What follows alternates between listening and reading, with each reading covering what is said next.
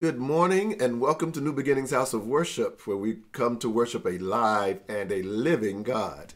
We thank you for being here with us today, and we're going to ask Sister Rosalind Turnipseed to come with our morning welcome this day.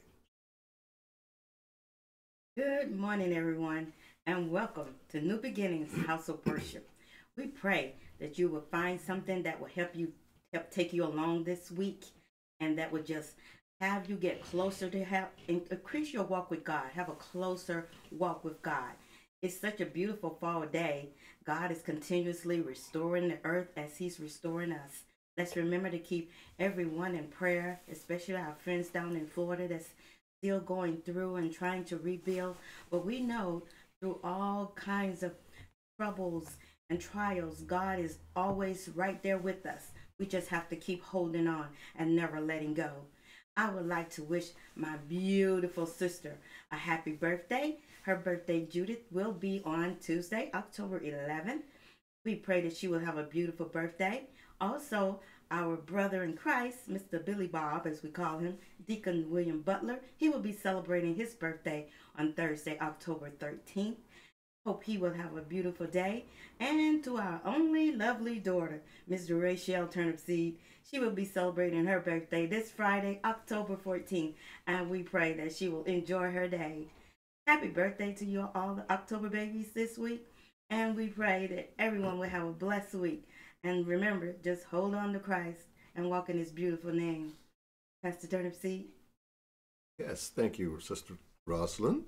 Uh, and so we want to again echo those birthday uh, wishes uh, to everyone, especially to our daughter coming up this Friday, and all those that are celebrating birthdays and anniversaries during this month. We also want to go to um, remind you that this is October, which is Breast Cancer Awareness Month. And we want to uh, make sure that you are aware of the things that you need to do uh, women and men. Uh, men can suffer from breast cancer as well. Uh, but we know that how prevalent prevalent it is with, within the female community. And so we want to encourage you to get your mammograms, uh, go speak with your doctor. Uh, there's a lot of new information out nowadays and a lot of treatment options for you. Uh, that it doesn't have to be a death sentence. When we hear that word cancer, uh, we we we get nervous and, and think that it's all over. And some people fear going to the doctor just from hearing that. Well, things have changed since the, the old days, as I may say it. but we are wanting to encourage you, especially uh, ladies, if you have had a mammogram, talk with your doctor, see if you have dense breast tissue. There are additional uh, types of uh, uh analysis that they can do uh, to make sure that they're able to detect um, any growths that may be there. So we encourage you, all of you breast cancer survivors that are out there, continue to give the support and encouragement to those who are going through. Amen. So this morning for our message, we do have a word from the Lord for you today, and it's going to come from the book of Daniel, Daniel chapter 3, verse 1, and then we'll go down to verse 4 and 6. Uh, we're going to deal with this chapter pretty much but we didn't want to read the entire chapter. We're going to read the verse 1 and then verses 4 and 6 and then deal with some issues throughout this text. We're going to be reading from the New King James Version for our initial text reading, uh, but then I will go to the King James as I'm uh, talking, uh, delivering this message today, just from a uh, visual standpoint from what I can see. All right, Daniel chapter 3, verse 1 and then verse 4 and 6. And the word says, Nebuchadnezzar the king made an image of gold whose height was 60 cubits and its width 6 cubits. He set it up in the plain of Dura in the province of Babylon. Verse 4 Then a herald cried aloud, To you it is commanded, O peoples, nations, and languages, that at the time you hear the sound of the horn, flute, harp, lyre, and psaltery, in symphony with all kinds of music, you shall fall down and worship the gold image that King Nebuchadnezzar has set up. And whoever does not fall down and worship shall be cast immediately into the midst of a burning, fiery furnace. Amen. That ends the reading of God's word this morning. And so, just for a thought today, we want to leave with you uh, stand up and stand out. Stand up and stand out. And our biblical truth for today, uh, which is also going to be posted on the screen, um, it posted uh, after this message that you can go back to. Uh, the stand you take now, the stand you take today, will speak into your future. The stand you take today will speak into your future. You know, we're dealing with uh, a lot of things that's going on uh, this week uh, for many HBCUs or this month. You have homecoming and different colleges are celebrating their homecoming. TSU just celebrated their homecoming here in Nashville. Uh, we were able to spend some time there. But during times of celebration and joy, when people come back home and visit the college, uh, you have alumni from various uh, dates back in the 60s coming back and 70s visiting the campus, making donations, and just celebrating and have a time of joy. And even just even outside of that, you know, having times of celebration is good uh, where you dance and and you you may uh, fellowship together and eat and, and, there may be some drinking going on. Yes, that yes, sometime that is. But if we're not in overindulging, whether that's food or drink, you can still have a good time. And, and celebrating is okay. We, we put so many restrictions and restraints on people that, that it sounds like Christians just can't have any kind of fun can't have any joy, no celebrations, no dancing, and all of this. And so during this time of, of celebration, and, and particularly with this homecoming week here going on, uh, they were uh, they had a, fish. They have a fish fry annually on, on campus at Tennessee State, and the uh, the old old schoolers were there, and and young new schoolers were there, and the old schoolers were up dancing to the music and, and celebrating and eating fish and catching up on memories. And, and it's just a time of celebration. And I want to again emphasize that celebrations are not the problem. Dancing and listening to music is not the issue and or the problem. It's just what we do in our life along those terms, whether it's music, dancing, or whatever else uh, that we may be doing uh, business ventures that we can sometimes go down the wrong path.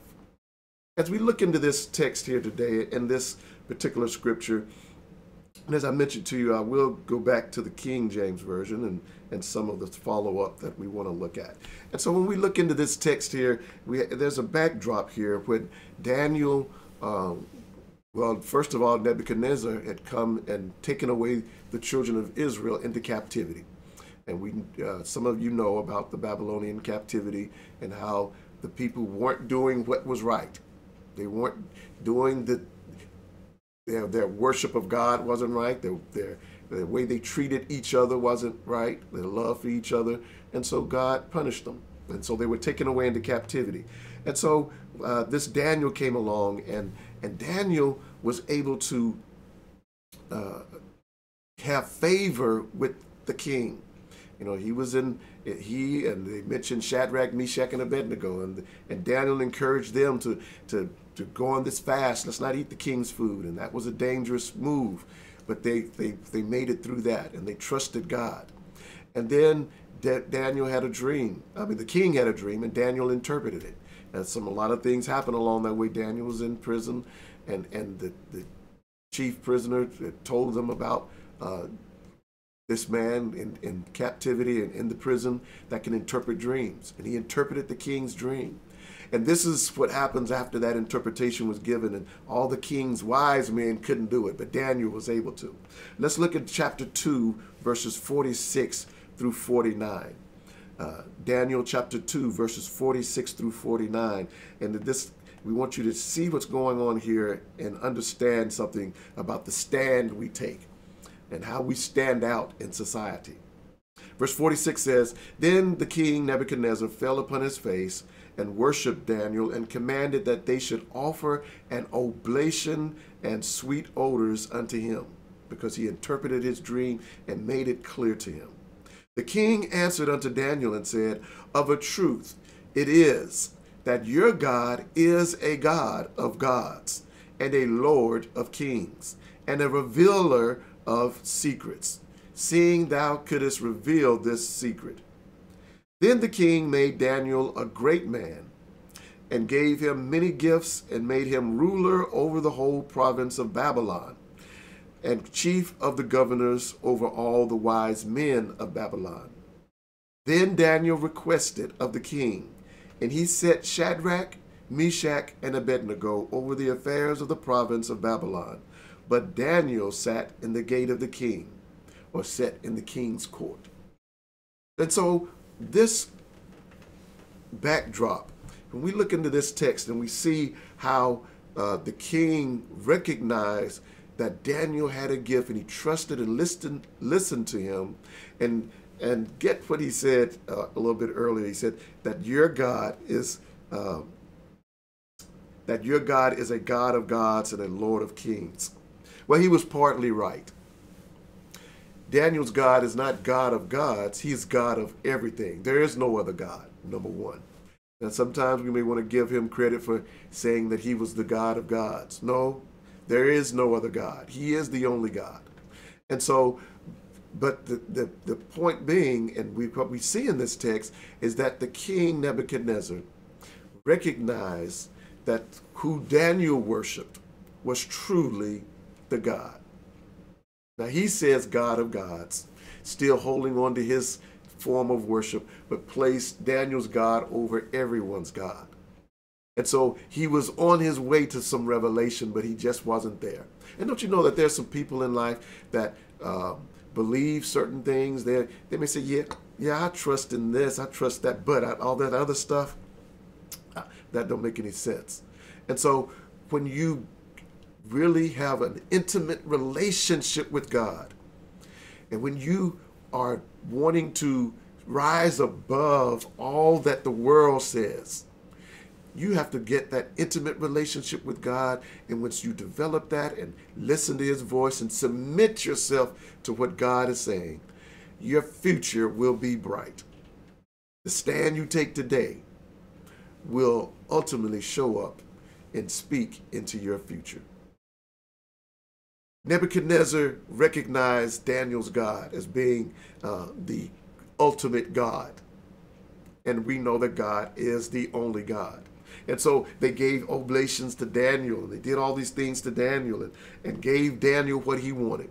That Because Daniel took a stand early when they were uh, in first taken into captivity. And as I mentioned to you, then they, they were in prison and, and they didn't eat the king's meat that was offered to idol gods. Uh, they wanted to keep themselves uh, in a way that was pleasing before God. And so they just ate the fruits and vegetables and porridge and things of that nature that, that did not defile their bodies. And so, what sort of stand are we taking today? Again, we can go to the celebrations and have a good time. Uh, at the game, there all of the tailgating and all that's going on. Do you compromise yourself uh, just to be in the crowd?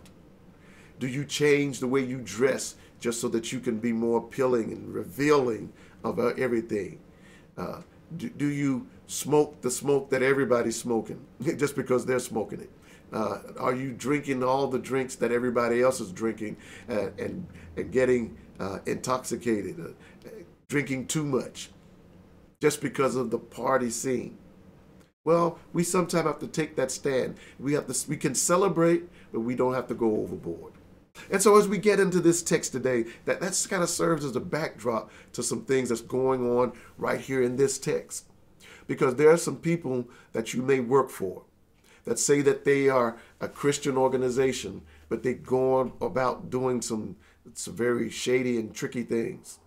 And they'll have all the catchphrases to catch those who are Christians so that they'll come and do business with them. But they are working in uh, underhanded ways. You may have a governor who says he's a Christian, but then carries out things in a way that make you wonder are you really loving of your neighbor as yourself?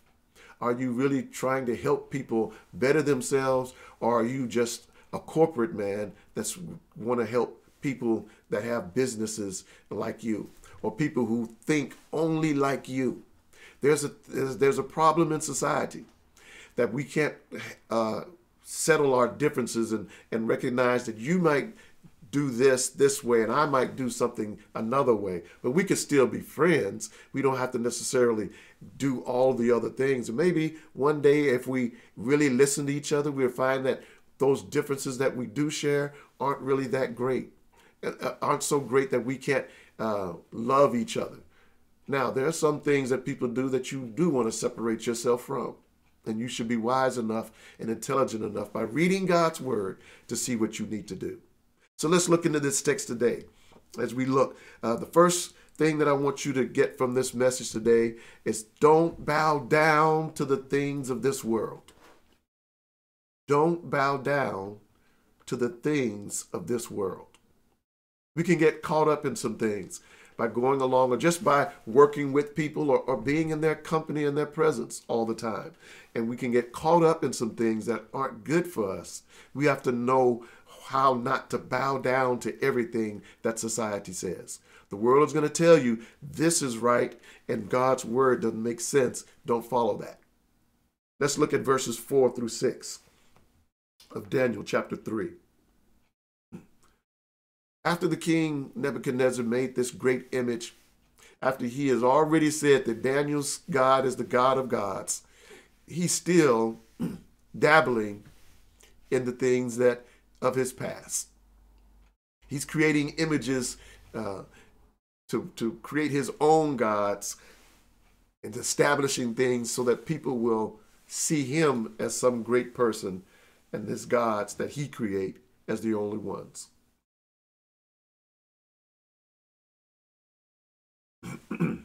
Excuse me. And so when we look at this, this text here in verse 4 to 6, it says, Then an herald cried aloud. Here's the man going to tell you all the things that the king said to do. He's created this great image. Now you're going to have to bow down and worship worship this image. After he's already said that Daniel's God is God of gods, he's still going about doing strange things. To you it is commanded, O people, nations, and languages. So, eh, just for a point of reference, notice that he here is this king. He has captured the, the Jewish nation he has other people there who he's probably captured and brought there too. So that's why he's speaking of people of all nations and languages. No matter what your language is or where you're from, this is what you have to do. That at what time, verse 5, that at what time ye hear the sound of the cornet, flute, harp, sackbut, psaltery, dulcimer, and all kinds of music, you fall down and worship the golden image that Nebuchadnezzar the king has set up. And guess what's going to happen? Verse 6 And whoso falleth not down and worships shall the same hour be cast into the midst of a burning fiery furnace. Society is telling you right now, churches across this nation, that you can and deliver your message, but you better not speak on the political issues. You can deliver your message, but if we find out if someone raises a complaint that you are not allowing them in just because they believe something different, or you're not going to perform a service for certain groups of people because your beliefs are one way and theirs another, that they are still thinking of ways to, to persecute you, bring you up on charges, tell you what you can't do. And so, as if they do that to our religious institutions, guess what? As individuals, we, we begin to begin to believe that we don't have any rights. That um, anyone who's today can say that they stand for something, they can tell you that you have to accept it, and if you don't, then you are the one who's the problem. And so when we get into these situations and we look at what's going on in our lives, even again in our ways that we celebrate, which is a, such a joyous thing. Don't you know that Jesus was at all sorts of celebrations and, and dealing with people? And, and those in religious positions, uh, the leaders, uh, were calling him uh, a devil worshiper, someone who would go and, and a son of a devil, and someone who would go and uh, sit with those people be around those people and, and, and commune and fellowship with those people, something was wrong with them. So we can come on attack from the world and then from those people who think that they're doing God's bid, but they're not. Don't bow down to the things of the world. We stand up on the truth. We have to stand on what is true, and the truth in God's word is the foundation of the truth that we must stand on. There are so many things that the world is telling us now, things that are a lie, and this whole thing with uh, fake news and all of that stuff. And now we see our political leaders that will stand on a lie just to get power back. There are corporations that will stand on a lie just to make more profits. Oil companies that are making million, billions of dollars, excuse me. And then they're still saying they have to raise the prices because their profit level is going down. But they're still making billions of dollars and, and profiting uh, greatly. And so we're in this capitalistic society today that says we, we'll say anything to get what we want and to get more of it. And people are doing that everywhere now, uh, whether it's in politics, in business, or even in our homes and in our communities. And so, are we standing on the truth? Are we able to love our neighbor as ourselves? If we really did, we wouldn't abide by and, and live under the lies that we hear. We stand up on the truth. Uh, Thou shalt have no other gods before me. That's the truth. And so, how many of us out there, how many of you out there uh, are still worshiping things in your past that you know are, weren't good for you? Just because people don't see you doing it. How many of us are bowing down to the ills of society uh, just so that we can fit in with the group? Or just so that we can have some profit, or so we can get uh, more people to like us on our uh, social media posts? That we'll say and do anything just to get more likes, just to get more likes. And that's a problem in our society today. We put everything else before God. And God says, I will have no, you should have no other gods before me because I am a jealous God. There is no other God but me. And so we have to watch that. Don't bow down to the things of this world. And peer pressure. Peer pressure will get you to do the things that you know you don't need to do. Uh, nobody's going to see. We're going to go over here. Don't worry about it. You won't surely die. You won't get pregnant you won't catch some sexually transmitted disease because I don't have it. So uh, you could trust me. Or this stuff won't do this. This this just make you feel good for the moment. And and and and and so we do things, we take things, we say things that we should not be doing. Don't bow down to the things of this world. Even when the threat of death is before you because God says there is no weapon formed against you shall prosper. And I know that may sound strange when somebody's holding a gun at you, or we hear of all of these shootings and people dying. But those things will not prosper. If you've given your life to the Lord, we know that we will live eternally with Him and not be condemned into the lake of fire. That's a promise that we don't see right now but that God has made, and we can trust it because He's fulfilled all the other promises He's ever made. The second thing that we need to worry about and think about when we're talking about stand up and stand out. See, you can't stand out if you're bowing down to the things of this world and doing the things that the world does. You're not even taking a stand. You're not standing up for anything but wrong. The second thing that we need to do in this message, that this message uh, from God is telling us to don't worry about your haters.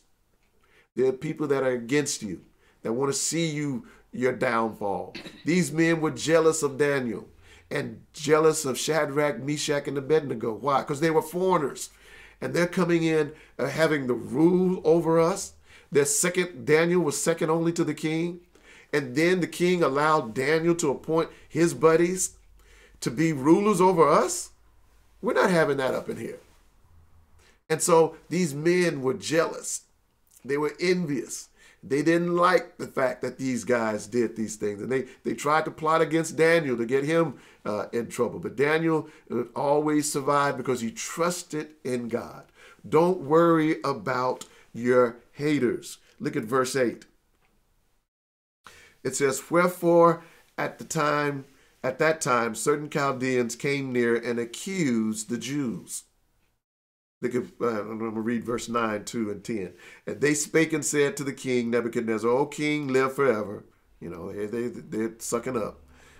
Thou, O king, hast made a decree that every man that shall hear the sound of the cornet, flute, harp, sackbut, psaltery, and dulcimer, and all kinds of music shall fall down and worship the golden image. And whoso falleth not down and worship, that he should be cast into the midst of a burning fiery furnace. Verse 12 There are certain Jews whom thou hast set over the affairs of the province of Babylon Shadrach, Meshach, and Abednego. These men, O king, have not regarded thee. They serve not thy gods, nor worship the golden image which thou hast set up. Your haters, they're looking at you. They see you taking a stand. They see you trying to stand out, that they're still going to try to come against you. Now let's stop for a moment and recognize the scripture tells us that we wrestle not against flesh and blood, but against principalities and powers, rulers of darkness. And so we don't worry about the people trying to attack us. We need to look at this thing and say, what is Satan trying to keep me from? What is he trying to threaten me with? And so whether it's eviction, losing a job, losing a, uh, a loved one to illness or, or whatever else, don't allow Satan to get you distraught and thinking that God is not for you. God is still for you. You just have to endure through some things. See, that's one of the things that we don't like to talk about a lot our endurance, how we put up with things. Because people think that if you endure through some things, hardships that people throw your way, uh, that, that you're just punking out, that you're, you oh, know, you, you're soft, you, you're, you're not taking a stand. Yes, you have to take a stand, but you have to take a stand the right way. Don't do it the way the world says. If you're in, in tune with the Spirit, God will reveal the schemes of your haters. He'll reveal it, He'll make it known, and you'll see it. And when you see it, don't respond the way that they responded against you. You respond in, in the kindness of God's word.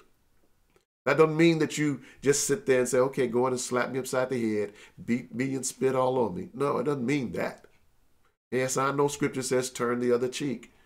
That means when it's really talking about turning the other cheek, it's that you, number one, you don't retaliate the way they are.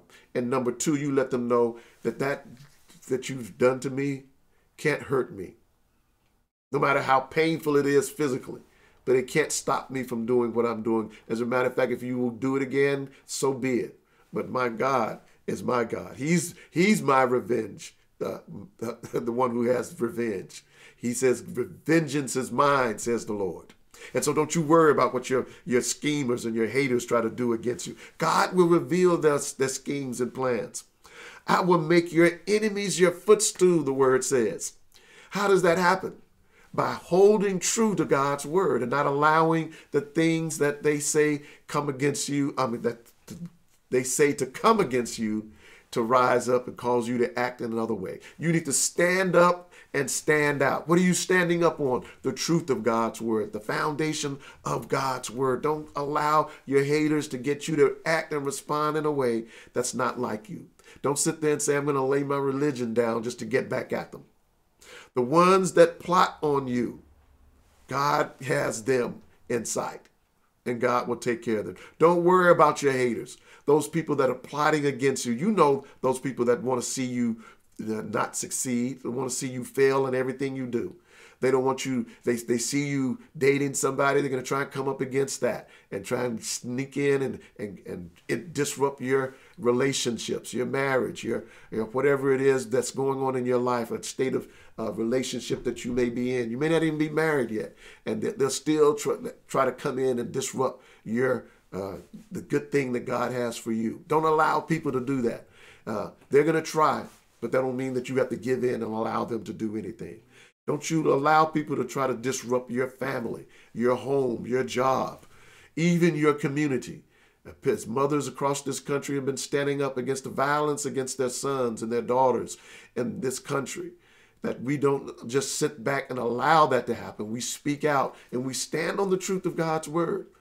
And that's not punking out. And that's not being uh, uh, weak.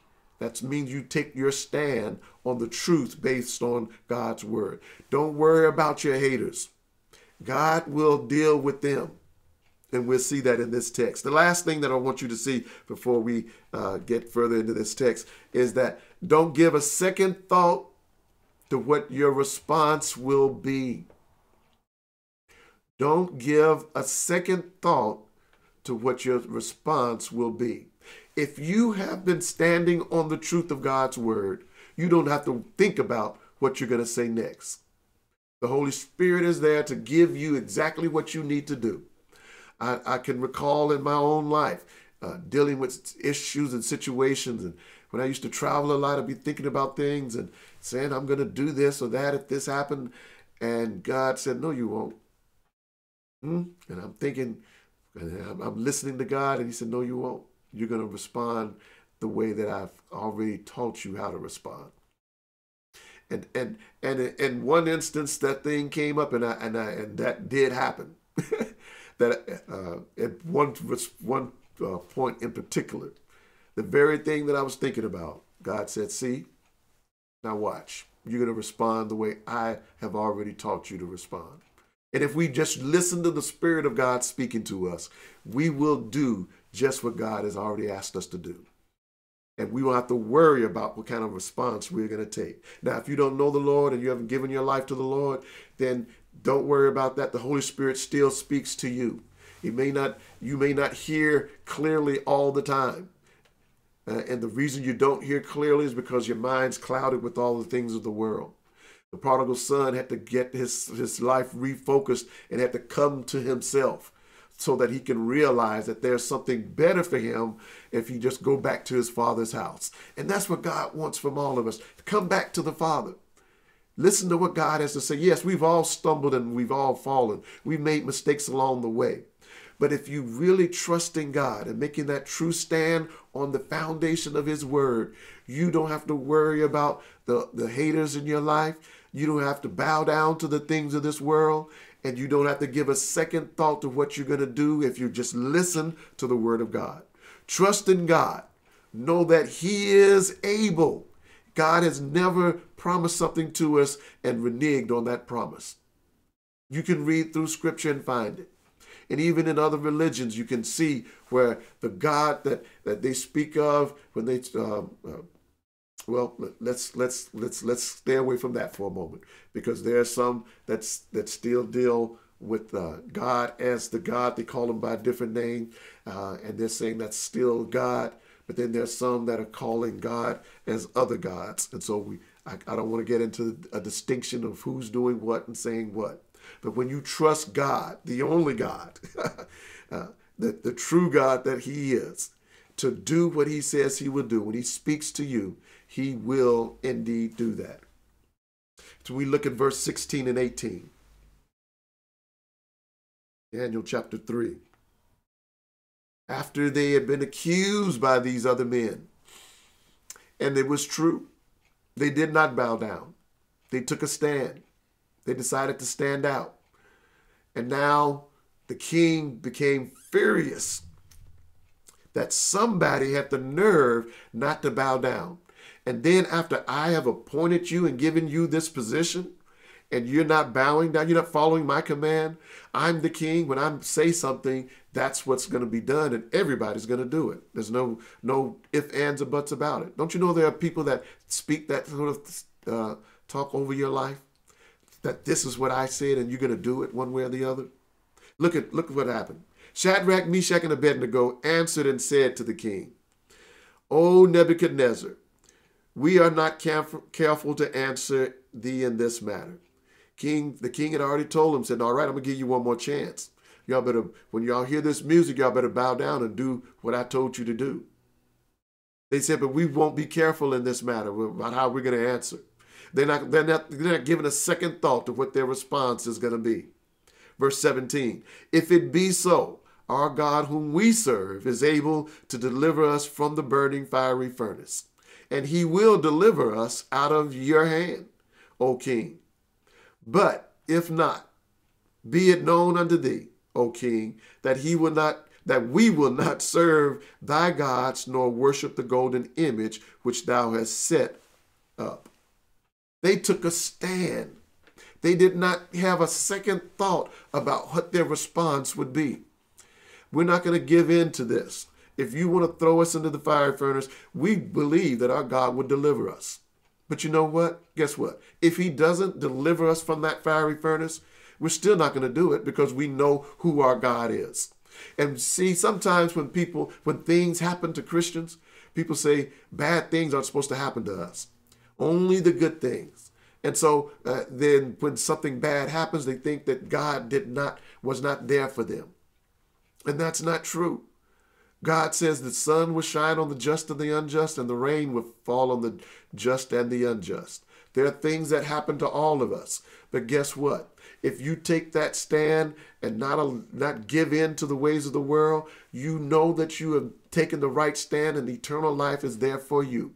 We can't put our hands to the plow and look back at all the things that are going on. That is why Jesus took so much care with Peter when Peter uh, kept talking about, no, Lord, we're not going to allow you to go to the cross and, and die that way.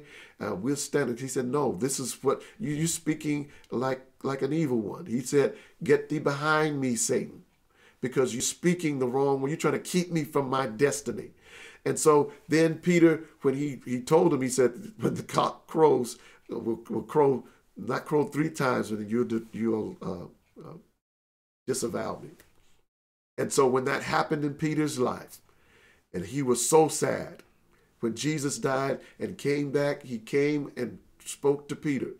After he brought in this, helped them catch this great catch catch of fish, he says, Do you love me more than these?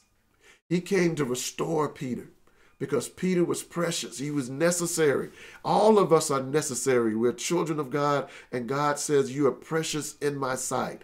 I don't care how you have messed up along the way. The things that you have done, the people who've come up against you, the bad things that may have happened in your life, I still love you and I'm going to redeem you back to me so that you will not fall prey like Judas did and get so upset and distraught and hang yourself. And there's no chance for redemption. And so when you are caught up in things, don't give a second thought to the response that you're going to give. They said, We will not be careful in our answer. We're going to stand firm on what your word, what the word of God says, and not the ways of the world, King.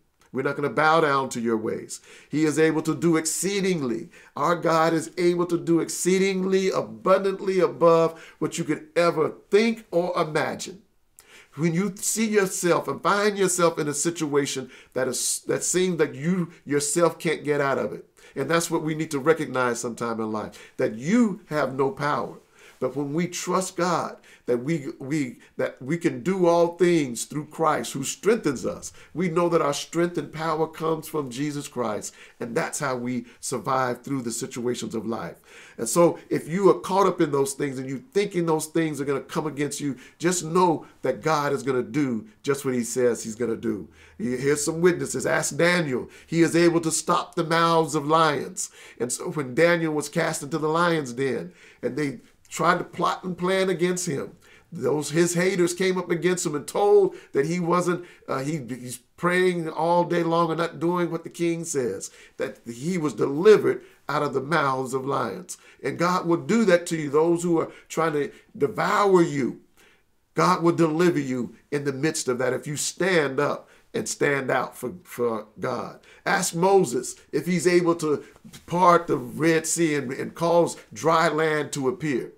And when your enemies are at your back and it looks like you can't get through because of the obstacles before you, God will open up a way and cause you to walk through and pass through that without any hurt, harm, or danger, or anything slowing you down to keep you in danger's way. God will deliver you from those things. Ask Joseph if he is able to uh, use what people meant for evil or bad against you and turn it into good.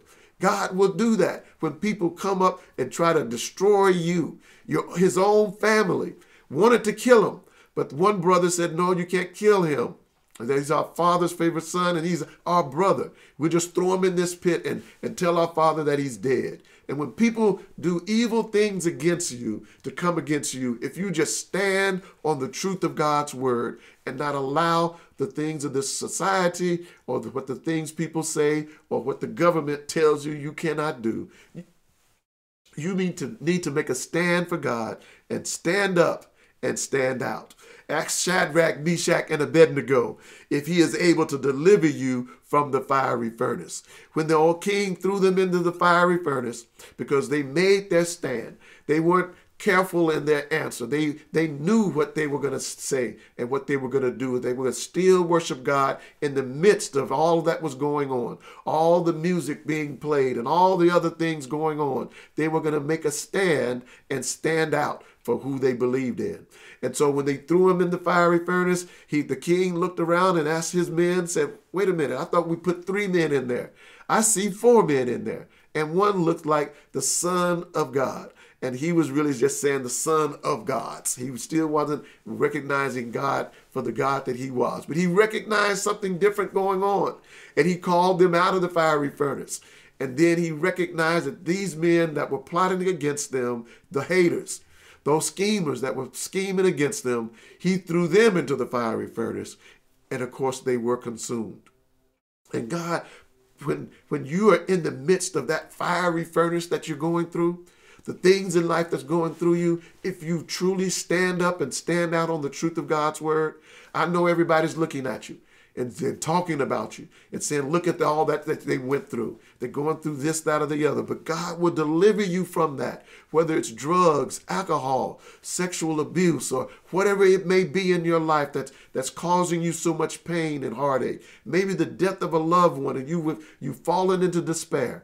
God will deliver you if you stand up on His word, stand for the truth that He has delivered to you, and trust Him and you will come out of that without even the smell of the fire that you were in on your body.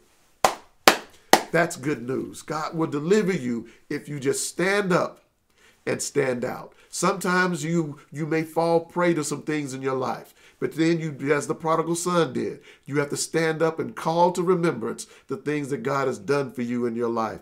You may not have always done the right thing and stood for the right cause, but when you recognize that this thing that's coming against you cannot stand, and I will not fall prey to this anymore. I'm tired of living like this.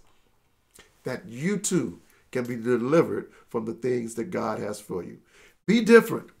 Let your enemies see your God at work on your behalf. Verse 23 and 26 shows us how when they saw Shadrach and Meshach and the Abednego in the fiery furnace, that they bore witness to the fact that these men were not consumed by the, the anger and the hate that someone had towards them. And don't you know that there are people that hate people so much that they'll do anything to see that them see that they are destroyed. And we don't have to fall prey to those types of things. We don't have to live that kind of lifestyle. We need to stand up on the truth of God's word and stand out.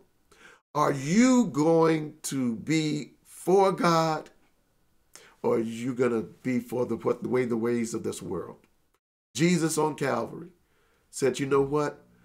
I am going to allow myself to be hung to this cross to be nailed to this cross, this tree, which said that I would be a curse. And so the curse really wasn't on Jesus anymore. When he gave himself, he allowed himself to be that curse, but the curse did not fall on him and stay on him. The curse was for the sins that you and I have committed in this world. The curse was on all those who would live that way. The curse was on that type of lifestyle. But Jesus stood and stood up on the truth of what his father says that if you if you allow yourself to be a living sacrifice for mankind i will redeem mankind back to me through the acts that you have committed and you will be the savior of the world and isn't that good news that we can go to calvary's cross and allow our sins to be taken away because jesus has already done that we don't do it Jesus has already done it for us. And so we just, when we go to Calvary's cross, it's that we are accepting the work that Jesus had already done. That he is Lord and Savior of our life. That he is the Lord of Lords and King of Kings. Not Nebuchadnezzar's king, not the, the excuse me, not the gods of this world. But we are trusting in what God has for us. And so we want to offer Christ to you this day. That if you're out there and you've been dealing with some situations in your life, there's some things that have been really tearing at you. You know that that lifestyle isn't right. And you you're tired of dealing with the ways of the world saying that this is right and God's word is wrong. You may not quite understand it all, but that's where getting yourself into a good church, or finding a Bible believing church, and, and listening to the Word of God to strengthen you daily, and doing your own reading and spending some intimate time with God, that you will be strengthened. And each trial that you go through, God will deliver you from that. And God says, I allow those trials to come so that you can be strengthened and you can see how strong you truly are because I see it in you.